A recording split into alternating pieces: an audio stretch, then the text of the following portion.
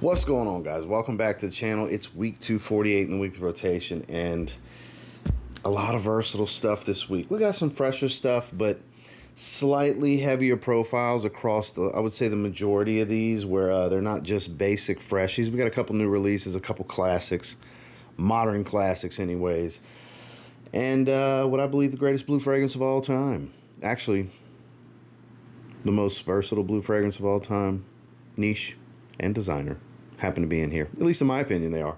And uh, we got some good stuff. Again, new releases. The so-called King, which I probably put in the thumbnail. Some really good scents this week. No two ways about it. Again, like I said, it's week number 248. We're going to dive into this rotation, so stay tuned.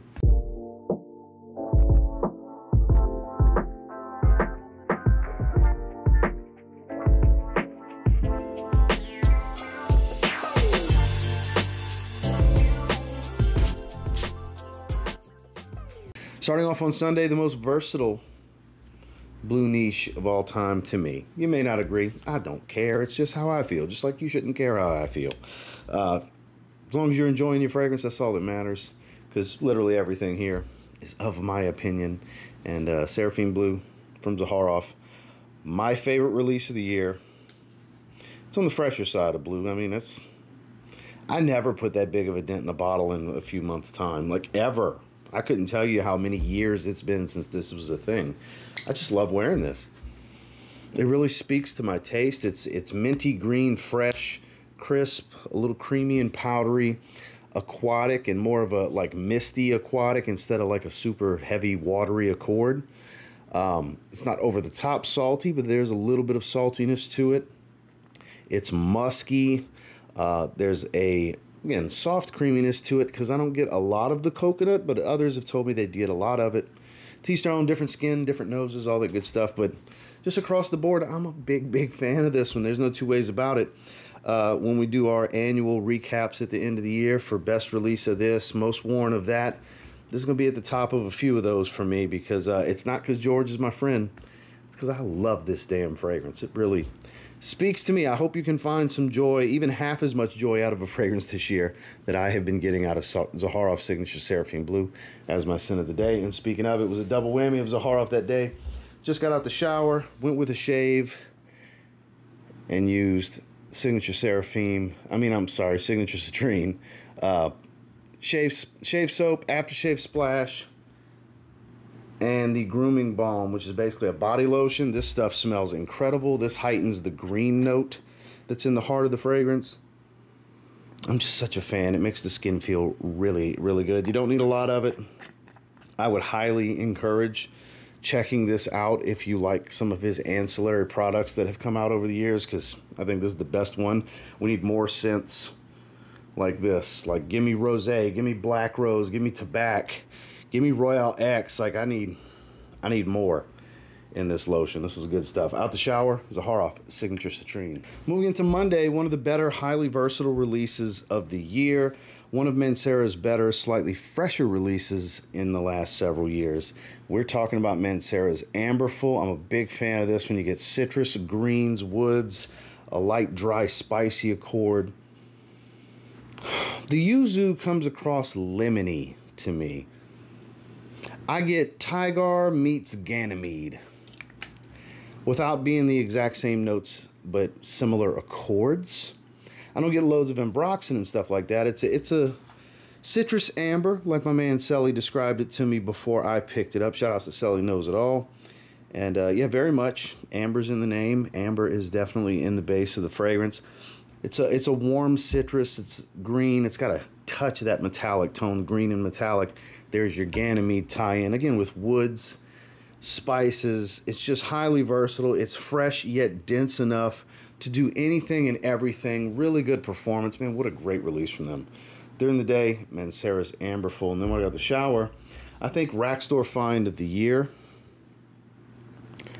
We are talking Vibrant Summer from Tommy Hilfiger. Man, you cannot go wrong with this one. Um, if you see this one at any of the rack stores, it was popping up Burlington, Ross Dress for Less, all the different places in a range of prices from like 17 to 25 bucks. It's worth it for all of them. It's got this coconut water, slight green feel. a little on the fruity side of things. Just a beautiful tropical summertime fragrance. Probably their best summer flanker they've put out in many years. Out the shower, Tommy Vibrant Summer. Moving into Tuesday, hot off the presses, fresh new release, the flanker, the sequel to Seraphim Blue. We got Zaharoff Signature Seraphim Red. Now, this is more about amber, woods, and spices because what carries over is that eucalyptus mintiness. You have some piney green accord at the top, so it's very green, minty, and pink pepper dominant, sweet spice at the top. Um, you lose the iris, you lose uh, the coconut, you lose the apple, you lose a lot of the tropical side of it, and you garner a warm, woody nuance with a little bit of florals in the heart that I don't really get much of. I've been seeing some people say they get the rose, and I haven't really seen anybody really talk about the ylang ylang, but I don't really get the florals on my skin, but I get a warm wood smell. This vetiver sandalwood amber combo in the heart in the base really shines in this fragrance for me, and you still have that minty aquatic tone that is the main uh, DNA and the main focal point of the two Seraphim fragrances, that eucalyptus, that red seaweed with the sea notes you still get that. It's a very uh, minty, peppered aquatic with a warm, woody base.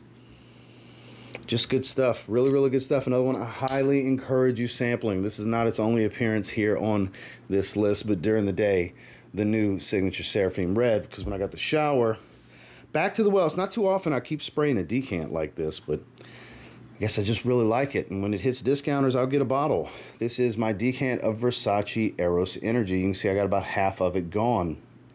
I've been wearing it. Very much like a lemony Aventus cologne type. It's a beautiful citrus and fruity fragrance. Uh, a little bit of greens, and woods and musk.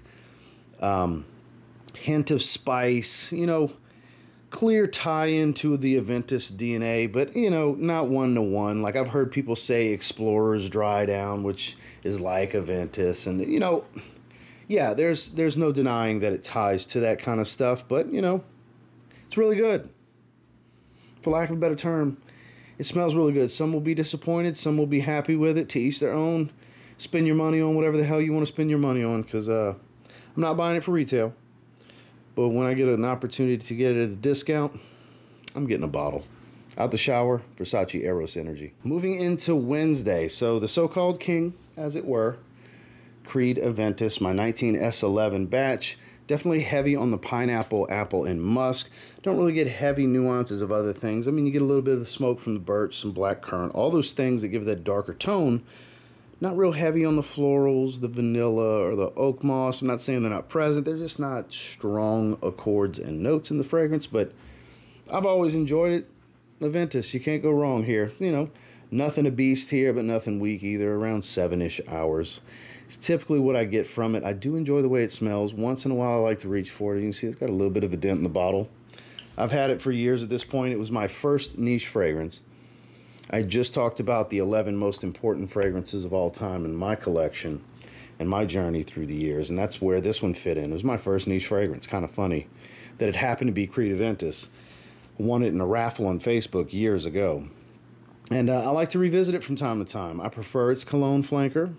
Um, there's other niche fragrances that have a similar profile that I prefer to it, but there's no denying the impact this fragrance has had it is an all-time great game-changing profile. You got to put some respect on the name. And uh, it was nice to revisit. Once in a while, I do like to revisit it. During the day, Creed Aventus. And then when I got the shower, something wildly different. Nautica Classic. All-time great for a different reason. When it comes to out-the-shower fragrances and nostalgia, it's an all-time great for me. Um, this was also in said video. So we had a double whammy on the most important fragrances a salty aquatic, basic shower gel scent, uh, but the vintage versions, more florals, woods, deeper fragrance overall. This is a shell of what it used to be, but I still like to keep a bottle or two in tow because I get in the mood to wear it. I'll finish this bottle sooner than later. The juice level continues to drop. I've been wearing it more and more lately, but out the shower, Nautica Classic. Moving into Thursday, it was a freshy double up type of day. I just talked about this one and I was in the mood to wear it. This is such a beautiful, soft, according to my wife, slightly feminine, citrus green, fresh floral woody fragrance. Paradis Des Sens Eden. Yes, I said, according to my wife, feminine, because when she smelled it on me, she was like, that smells a little more feminine than what you normally wear. I was like, really? I wear rose and iris all the time. I'm kind of surprised to hear you say that. She's like, yeah, I don't know. It's just something about it. Smells like a, a, lot of white flowers. I said, I say the same thing, fresh white floral. And uh, she, she said, it doesn't smell bad at all. It smells good. I just was kind of surprised. It seems a little feminine. Shocked, but all right, I then. And uh, she came back later and she's like, I want to let you know that stuff is so strong. It's still all over me. I keep smelling it. It smells phenomenal. So for I guess for her, she would like to steal the bottle. Is how I took that. She didn't outright say it, but yeah, according to my wife, Eden on the feminine side, that's for sure, was surprised that I was enjoying it. I don't find it that damn feminine. Any of you that have it, do you find it super feminine? Feminine leaning? Yeah, for sure. But this the grapefruit here in the woods remind me of Elysium. Just a little bit. It's not metallic like that. Elysium's a more uh, masculine fragrance than this but it's a guilty pleasure fragrance that I like to reach for once in a while. I just talked about it, so I wanted to put it in the rotation. So definitely sample first. According to my wife, it's on the feminine side, so you never know who, what's going to smell like what to who. But I enjoy it nonetheless. Paradis Des Sens Eden. Then we got the shower. One of the greatest citrus openings of all time, Terre d'Hermes Eau. Shame on me, I barely touched it this summer. I think this was the first time I wore it and it's so phenomenal for the heat. It really is. Shame on me. The citron note has this heavy grapefruit smell to it, slight earthy tone to the woody note. It's really simplistic and straightforward. I love it. If you like yellow citrus based fragrances, that makes this a must try. It's definitely the freshest of the line. Out the shower, Terre d'Hermes Eau Givrée. Moving into Friday, I wore it during the day. I wore it again out the shower. This is the second featured day for Zaharoff Signature Seraphim Red. Slowly but surely, I'm working on that juice level. Um, I didn't have this bottle as far in advance to the review like I did with Seraphim Blue, where I was able to really like knock down a nice little chunk of it. I was working off of the final rendition lab sample, which I've almost emptied leading up to this, and then spent a little bit of time with this when this came in and put a review out for you guys. Uh, from this bottle now, I say I've worn it like nine times, ten times, something like that. Now, is it going to have a dent level like Seraphim Blue as we near the end of the year? Probably not, because I still like blue more. I do like red. Red's very good. But it's not in my top five. This is my number one in my collection and from the house. This is like number six, because I know people are going to ask, where does it fall in your top 10 from Zahara? It falls like number six. Uh, Citrine, still number five. Tabac, number four. Black Rose, number three. Rose, number two. Seraphim Blue is my number one. But this is above things like Leather Tabac, Coco Loco, which are, my God, crazy good. Aurum, my God, crazy good. Point being, the top 10 is just immaculate. Uh, Royale X, just my God. So this is in, right there in the middle of that top 10. And I think more people are going to like this one than Seraphim Blue. Because Seraphim Blue very much speaks to my taste. But I've literally, like Randy, immediately told me he likes this better than Business Over Pleasure, Seraphim Blue, all that, because he's a big Pink Pepper fan. Wasn't surprised to hear that. Some people are going to love this. I strongly encourage you sample it. If you're interested at all, grab a sample. You can get samples for just seven bucks before the 10% off. Get your 3 ml, spend a little time with it, and see if it's for you. Out the shower and during the day, signature Seraphim Red. Finally, on Saturday, this was the combo of the week. Uh, I'm starting to highlight that more and more, which I think was the best smelling day because of the duo of the day was just the peak of the week rhyme intended and kind of unintended at the same time. But during the day, what I believe to be the greatest blue designer fragrance of all time, this is the King of the Mountain. This is a true signature scent in my mind through and through. It's fresh enough for the summer, but warm enough for the winter. Not loud, refined, and smooth. Bleu de Chanel Parfum, How I Love Thee. Man, man, Man, this is so good. This is perfection from a synthetic blue. I think, you know, some will disagree, some won't. So I, and as expected with my sin of the day post, people saying the EDP is better. I even mentioned it in there. I totally get it. Some people prefer the EDP. Not too many prefer the eau de toilette, though. I think that takes the caboose uh, in a lot of cases. But man, that lemony, zesty, just juicy citrus with all these warm woods, light smoky nuance, beautiful magnetic cap and atomizer, which don't matter. And I just love the aesthetic of the bottle. I always have. This is perfection from a synthetic blue fragrance. I think is the best ever. I think the only thing that'll top it is if they were to give me an elixir, which I don't know if they're ever going to do. I've been saying for like two years now Chanel, I want a Bleu de Chanel elixir. I heard Superleggera is amazing in the Chanel Allure Homme line. Haven't tried it yet. I do have a decant coming. Uh, sounds like I'm going to end up needing a bottle of that. But Chanel, that's great that the Allure Homme line got a flanker. I need another Bleu de Chanel flanker because this has been the standard bearer for versatile versatile blue fragrances has been the Bleu de Chanel line. And I think every concentration the DNA has improved. Personally, I think the eau de toilette was groundbreaking. I think the eau de parfum dwarfed the eau de toilette. And then this came around and it was, oh, chef's kiss, magnifique, what I call the goat. This is it. This is the greatest blue ever to me.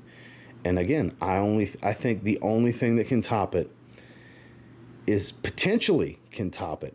They might not is another Bleu de Chanel flanker. So we'll see what the future holds. But during the day, Bleu de Chanel Parfum. Then I got the shower last night. It's time for another shave. We went Zaharoff Signature Rosé. We got the splash right here. We had the soap. And of course, I gave myself some sprays of the fragrance. This is a masterpiece, in my opinion. I love this fragrance. Wife came sniffing me down. She came, she could smell it across the apartment. She said, You're wearing rose. I wanted to come smell it. So this is a hit in this household for sure. Sweet smoky rose. You got sugar cane and vanilla bean for your sweet notes. The oud here is a dry warm wood with amber. So dry warm woody. And the Bulgarian Turkish rose peony combo with frankincense, olibanum tears, I think, as it's listed, is uh, makes for a very smoky, sweet rose coming off of my skin. It's sweeter off of my wife, smokier off of me. I just think this is just a masterpiece, absolutely stunning. So I'm saying like my favorite rose fragrance ever, my favorite floral men's fragrance ever, with what I think is the best designer fragrance ever, really. Hence the best duo of the week during the day, Bleu de Chanel Parfum, out the shower signature rosé. Well, that was this week's rotation. And until next time, do me a real quick favor. Go ahead and like, subscribe, turn on all notifications because I sure appreciate you guys watching. And that way you'll be able to be notified when future videos drop so you can check them out. Um, would you wear this week? I'm very curious. Comment, comment down below what your rotation looked like because I'm always curious to see what you guys have been wearing. It was a stellar week. I'm not saying there's ever a week where I'm not smelling good. I mean, that week doesn't exist, but some are better than others. This one was pretty damn good, gotta say. And until next time, I will say if you get your hands on any of the stuff I wore this past week and give them a spray now, you'll probably end up thanking me later. Who dat? Happy NFL Sunday. Have a good one.